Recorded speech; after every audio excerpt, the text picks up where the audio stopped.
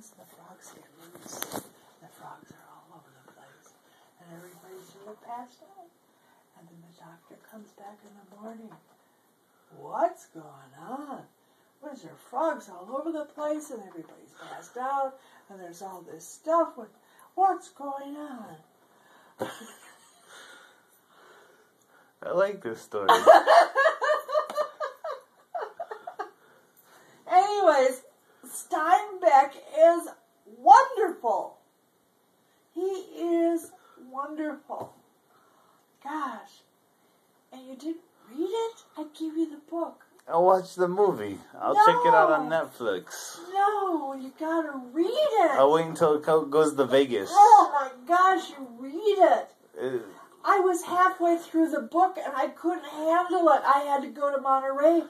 I got in the car. We lived out in South County. I got in the car. I turned on the ignition. I cranked it up, and I was out of here.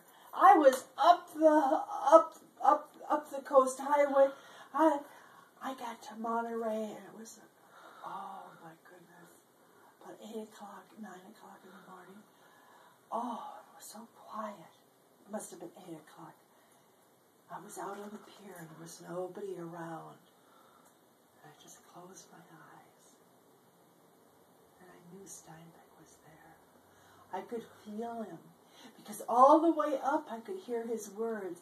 I could hear the way he talks about a cat when the sun comes up and how the cat just, the paws are quiet and the shadows, the shadows when the sun is coming up. Oh, it's beautiful. It's beautiful. So I'm out on the pier and I'm saying, oh, Steinbeck, you're. Oh, wow. His words, his words, it's like was that books on it's tape? like paint. It's like paint. Was that books on tape? I read it. I read it word for word in a book. But you said it was on the radio. No, Oh. there's a movie, but when you read it word for word, it's a whole lot better. And it's just, there's nothing better than Cannery Row.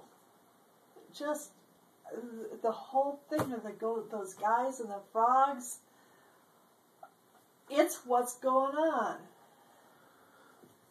Mom, can I ask you a question? What? Well, like when you were a kid, did you ever go out in the middle of the street, uh, in the middle of the night, you know, down by the pond and talk to bullfrogs? no. no? No. Uh, I didn't know what a bullfrog was. You know what I did? You went and talked to bullfrogs? No, but I sure as hell didn't go down middle of the night and talk to bullfrogs at the pond. Uh, okay, good. Then neither one of us did. Anyway.